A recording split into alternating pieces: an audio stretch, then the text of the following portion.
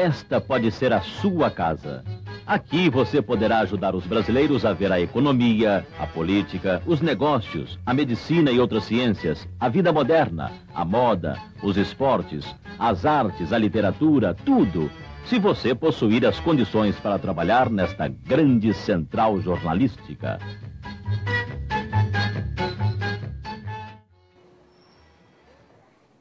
A máquina de café do 19 andar serve semanalmente pelo menos 1.200 cafezinhos. Tanta cafeína abastece quem trabalha na redação da revista Veja, o alto do prédio da editora Abril, em São Paulo. Jornalistas, colunistas, designers, fotógrafos e produtores que formam a equipe de 111 profissionais se somam a outros 11 espalhados nas sucursais de Belo Horizonte, Brasília, Belém e Rio de Janeiro. São eles os responsáveis por pensar, escrever e desenhar cada página da revista antes que ela chegue às mãos dos 7 milhões e meio de leitores. É assim todas as semanas. Tem sido assim há 40 anos.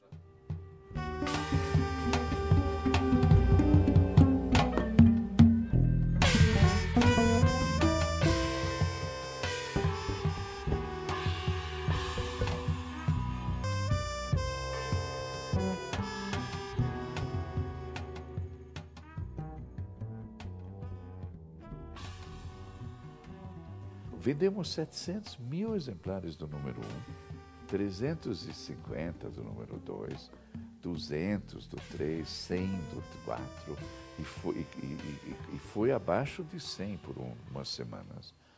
Ou seja, não gostaram.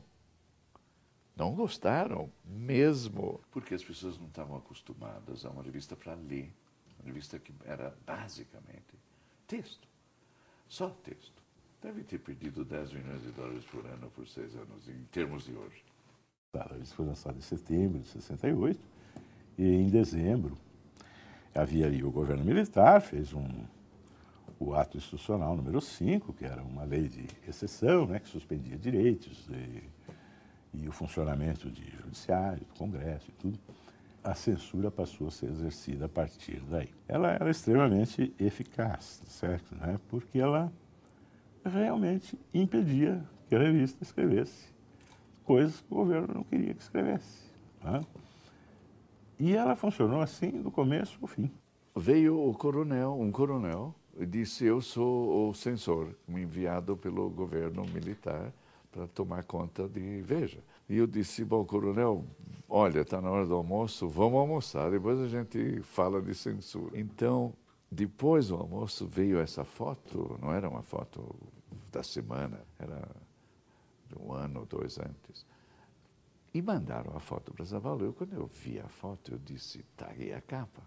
Porque era Costa e Silva sentado sozinho no Congresso. Eu disse, que tal o presidente sentado no Congresso? Ele disse, ah, tá ótimo. Aí ele disse, o que, que você vai escrever? Eu pensei um momento. Eu disse, bom, qualquer coisa que a gente escreva, ele vai dizer que não pode. Então eu digo, não vamos escrever nada. Aí, assim foi um momento de inspiração. E ele disse, ah, então tá bom. E a capa dizia tudo, sem, sem texto.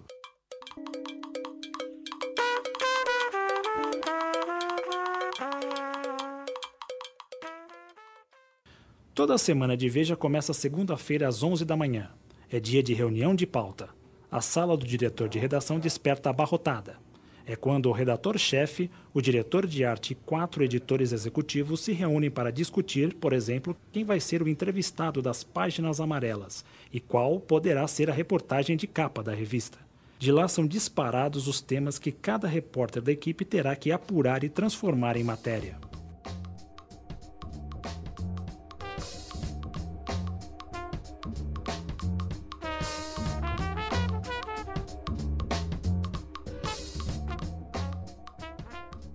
Uma boa reunião de pauta é uma reunião que traz 60% de assuntos novos e 40% de ideias novas sobre assuntos velhos.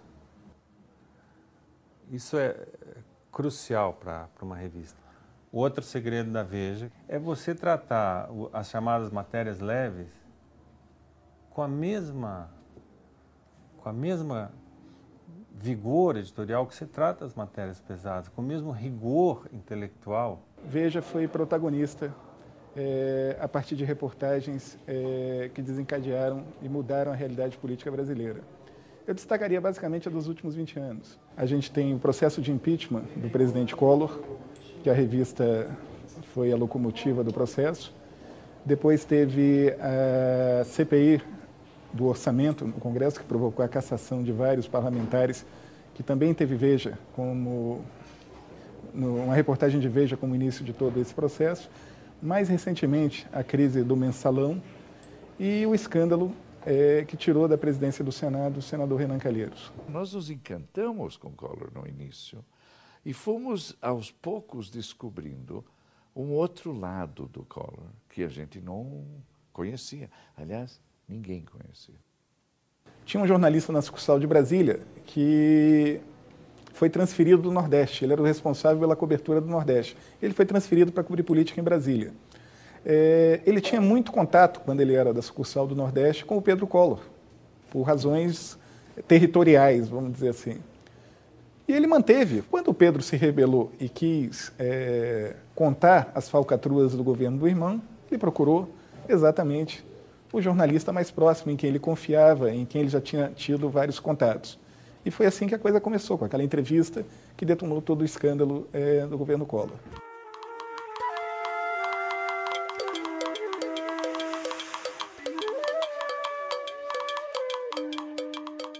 Não há semana que se repita. Em Veja, isso quer dizer que cada página das 2.077 edições produzidas nas últimas quatro décadas é única e nova. A imagem de capa e as fotos das reportagens devem informar qual é o assunto antes mesmo que se leia a chamada ou título. Quem torna tudo isso possível é a equipe de arte, que encaixa o texto ao visual estampado no papel. Uma missão sempre cumprida até o final da noite de sexta-feira, quando a revista começa a ser impressa nas gráficas de São Paulo, Juiz de Fora e Recife. As capas da Veja sempre foram muito fortes, muito, muito boas. Né? Eu diria que as capas da Veja, as caricaturas do Chico no Globo, são a coisa que há de mais impactante para pegar o momento da, da, da, coisa da vida uh, política. Né? Ter a Veja uh, o tempo todo cobrando, cobrando, cobrando, precisa muita paciência, né?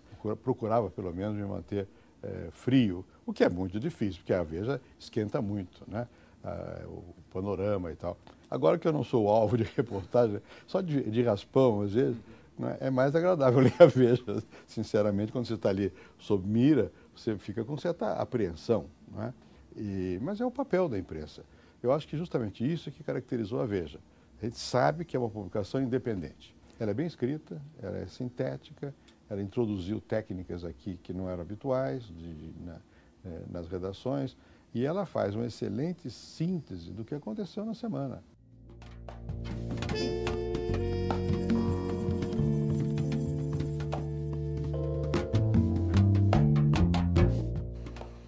Toda semana é semana de Veja.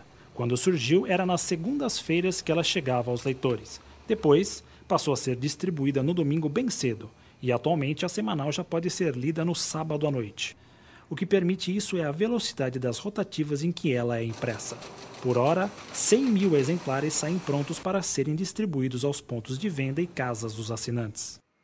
Até aqui tudo bem. Agora, o que nos trouxe até aqui são as mesmas, vamos chamar de qualidades, que nos levarão adiante? Esse é, é a pergunta assim que eu acho que é o grande desafio para essa empresa, para essa, essa revista tal. Se eu e os próximos diretores e as próximas redações fizerem 500 revistas, mil revistas, mil semanas boas, você vai chegar daqui mil semanas importante, atraente, é, esperado na banca, tal. Não acho útil mirar na Veja de 2050, na 2070, mas na Veja da semana que vem, do mês que vem, do ano que vem, eu aconselho que vocês acompanhem nos próximos 40 anos.